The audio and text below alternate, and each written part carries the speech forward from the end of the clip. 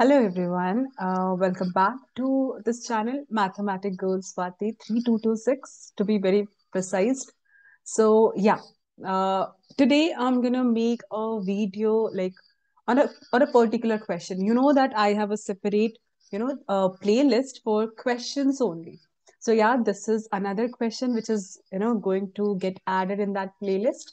Why am I making this video? Uh, because I saw that there is one video I had uploaded that is on basically cross product. I noticed, uh, you know, all of you are liking that video a lot. I'm getting a lot of comments right now on the, the, that video. So I thought of let's make some videos on questions only, where I'm just gonna give you very important questions. Okay, uh, not randomly. I'm not going to select. I'm going to see whether like that question has come in certain exams or not. So yes, I'm going to do a question uh, on trigonometry. The the uh, the question which I like on which I'm getting a lot of lovely responses. That is basically on a cross product. So if you want to watch that video, please go and watch it. I'm going to put the link of that particular video in the description box. So today in this video, I'm going to take one question and that too is on trigonometry. So let's get started. And yeah, I hope you can see my screen, which is this. Yes. Okay, so let's get started. As you can see, the question is we have to prove cos 17 plus sine 17 upon cos 17 minus sine 17 equals tan 62. All right. So here, what do we need to do? Because the question is a proof question. So you always know that either we start from the LHS and we go to RHS or we start from the RHS and then we go to LHS. So here, of course, if you start from RHS, that is not a good choice. That is making less sense comparatively. So it's better to start from the LHS.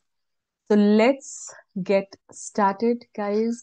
And you you know that uh, here we have on LHS cos 17 plus sine 17 upon, okay, we have here upon sine cos 17, okay, minus sine 17 degree, right? Now, do you know what I'm going to do here? I am going to simplify this by dividing the numerator as well as denominator by something. What is that? Let's find out. So that is, okay, dividing numerator. The short form for numerator is this. So I'm going to use that and denominator by cos 17 degree. All right. Now, you know that whenever we divide or multiply anything, we have to like we have to keep a balance, right? So here also it's not possible, you, you know, you can just divide it by uh like in the numerator and not in the denominator. No, not possible. So we have like if you are doing something in the numerator to keep a balance, you have to do the same thing in the denominator as well. So yeah, let's uh, go ahead. So what is it going to be? It's going to be cos 17 plus sine 17 because I'm dividing by cos 17 so it is of course gonna look like this okay upon cos 17 it is basically cos 17 plus sine 17 upon cos 17 but of course in the next step when you will you know separate it it will look like this because this is like you know this is 11th class uh, uh, question. I can say that my target on audience for this particular question is 11th grade. So I hope you know this. Okay, I don't need to write it upon cos 17 and then in the next step cos 17, cos 17. I hope you're getting it, guys. So yeah, let's move ahead. So what are we going to do now? Upon. We have to do the same thing in the denominator also. So we have cos 17 as it is. Upon cos 17, and then minus sine 17 upon cos 17. Now here we are going to use a very basic formula which you know if you are good at trigonometry. So the formula is if we have yeah sine theta upon cos theta, that formula is tan theta. So here wherever you can see this form sine theta upon cos theta, we are going to use this particular formula, which you can see right here.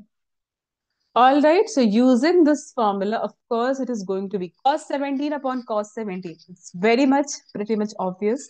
It is going to be 1. And then plus sine 17 upon cos 17, using this formula, it is going to be tan 17. All right, so it is tan 17. Because I'm not able to make a straight line, let me use this. Yes. Hmm. Okay, yeah. And then we have uh, in the denominator 1 minus sine 17 upon cos 17, that is tan 17. All right. Now, here we are going to use another formula, which is we are going to replace our 1 with something. I hope you know that the value of tan 45 is 1. We are going to replace 1 with tan 45. All right. So here at the place of 1, I'm, I can write down tan 45 because the value of tan 45 is 1. Plus tan 17 upon. This one I'm going to write down as it is. Okay. This one as it is minus. Here I, I'm going to do something. Can I not write down this tan 17 as 1 into tan 17? It is making no difference, right? Because 1 multiplied by anything is that number only. So I have just multiplied this tan 17 with 1. Okay, and now at this one, like in the place of this one, like I'm going to replace this one with tan 45. So this is going to be tan 45 and this is tan 17. Now, I hope everyone, like most of you can notice that we have a formula right here. What's the formula? Let's write down that. The formula is, yeah, it's tan A plus tan B upon 1 minus tan A tan B. Whenever we have this form, we can also write down this as tan of A plus B. That's the formula. A very important formula, I must say. So, yeah, I'm going to put it inside a, a cloud, you know, that this is very important. So I'm going to keep it inside a cloud.